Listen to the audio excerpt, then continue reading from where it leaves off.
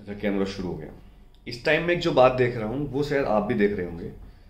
जिन बच्चों की कंपार्टमेंट आई है, जिसको आरटी कहा जाता है, और ये एक सीरियस बात है, क्योंकि मैं इस टाइम बेड़ा पार बैच ले रहा हूँ, और ये बेड़ा पार बैच बेसिकली कंपार्टमेंट वाले बच्चों के लिए बनाया गया है। तो इस बात को, इस वीडियो को बहुत सीरियसली लेना, और जो बच्चे सीरियसली नहीं ले सकते वो इस वीडियो को मत देखना। और जो सीरियसली इस बात को समझेंगे, वो लाइक करना और शेयर करना इस वीडियो को। जो बच्चे जिनकी आरटी आई है, जिनकी कंपार्टमेंट आई है, वो बच्चे बहुत इस टाइम डरे हुए हैं, दुखी हैं, परेशान हैं और उनका जो मॉरल होता है मोरल कहते हैं इसको मतलब आत्मविश्वास, वो बहुत डाउन है। उसका कारण है हमारा समाज स्कूल्स हमारी सोसाइटी हमारे रिश्तेदार जो सोचते हैं कि मार्क्स ही सब कुछ हैं। जब ये बात मैं कह रहा हूँ तो मैं आपको बता दूँ, मैं एक पढ़ाई में हमेशा टॉपर बच्चा रहा, लेकिन मेरे से कई दोस्त हैं जो पढ़ने में बहुत बेकार थे। सो कोड जो पढ़ाई आप मानते हो और वो आज बहुत ज़्यादा कामयाब मुझसे भी ज़्यादा कामयाब तो ये जो बच्चे तुम निराश हो रहे हो, तुम यार क्यों निराश हो रहे हो? मुझे समझ में नहीं आ रहा है। अच्छा कभी बीटेक वाले बच्चों से मिलना, जो बीटेक कर रहे हैं बच्चे। चाहे वो आईटी में कर रहे हो एनआईटी में कर रहे हो, सरकारी प्राइवेट कॉलेज कहीं भी कर रहे हो।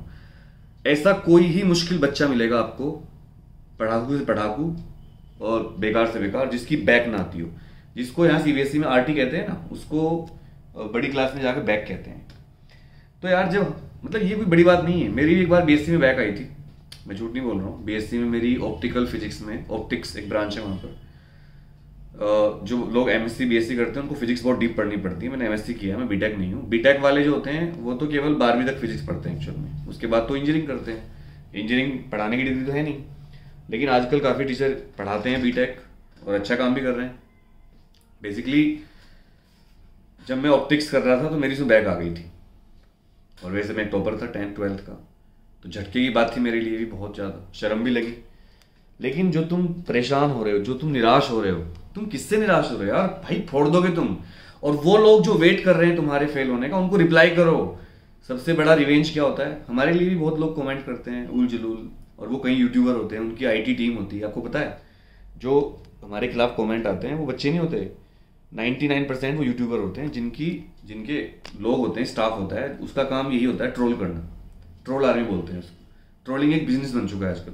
आप पेड ट्रोल भी करवा सकते हो पैसे देके। किसी को ट्रोल बड़े बड़े जो एक्टर्स होते हैं, एक्टर होते हैं, कलाकार होते हैं, नेता होते हैं, पत्र, इनको भी ट्रोल करवाया जाता है। लोग सुसाइड तक कर लेते हैं ट्रोलिंग से परेशान होकर लेकिन भाई, भगवान महादेव का ऐसा आशीर्वाद है कि कुछ फ़र्क नहीं पड़ता हमें।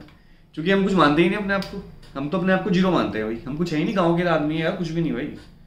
छप्पर था हमारे गाँव में। छप्पर जानते हो आप? कॉमेंट करना। तो जब हम कुछ मानते ही नहीं अपने आप को तो हमें कोई फ़र्क नहीं पड़ता कि हमारी कोई तारीफ़ कर रहा है, हमारी कोई बेज्जती कर रहा है। कर लो भाई। महादेव सब देखते हैं। जैसे वो महादेव सीरियल में कहते थे, ना मुझे सम्मान की इच्छा है, ना मुझे कोई अपमान का भय है। अरे पढ़ने वालों, अरे पढ़ने वालों, मुझे नहीं पता मैं क्या बोल रहा हूँ। मैं दिल से बोल रहा हूँ। आप लोग निराश मत हो। मैं अपने जूम बैच में जो मैं ले रहा हूँ, बेड़ा पार बैच। फिजिक्स का बैच, फिजिक्स और मैथ में पढ़ा रहा हूँ केमिस्ट्री की मैम है हमारी। टेंथ का बैच शुरू होने वाला मैथ साइंस का। उसमें बच्चों को जो मोटिवेट करता हूँ, और अगर वो बच्चे इस वीडियो को देख रहे हो, एक मैंने कमेंट पोस्ट भी किया है, वो बेड़ा पार बैच का ही बच्चा है। वो जो मोटिवेट मैं करता हूँ वहाँ पर, वो अंदर से आता है, और मैं ये मोटिवेशन सबके लिए बना रहा हूँ, क्योंकि सारे बच्चे तो बेड़ा पार बैच में नहीं है। ये वीडियो सबके लिए है। अगर आपकी कंपार्टमेंट है, और इसको मैं दोनों चैनल पर डाल दूँ, या शेयर कर दूँगा जब, क्योंकि मैं एक वीडियो को दो चैनल पर नहीं डालता अच्छा नहीं लगता मुझे। कई लोग हैं जो आपके फेलियर का वेट कर रहे हैं। किससे डर रहे हो आप? बहुत सारे लोग हैं आपको फेल कर देखना चाहते हैं। रिप्लाई दो उनको कि आप क्या कर सकते हो। रिप्लाई दो उनको। एक चीज़ दिखाता हूँ। एक तो ये प्राइज रखा है पीछे, भारत विकास परिषद ने दिया था मुझे अभी, और मुझे इतनी ट्रॉफी मिली। और जब मैं पढ़ता था उस टाइम इनाम मिलना बहुत मुश्किल काम था। जल्दी से इनाम नहीं मिलते थे। आजकल तो स्कूल वाले थोक में बांटते हैं बच्चों को। ये देखो, ये मेरी सारी ट्रॉफी देखो।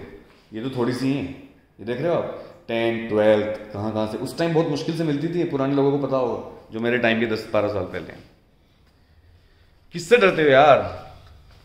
दिखा दो यार, तुम क्या कर सकते हो। आरटी आई है ना कंपार्टमेंट आई है ना इंप्रूवमेंट देना है ना। दे देना एडमिशन सबका होगा, कोई डरने की बात नहीं है।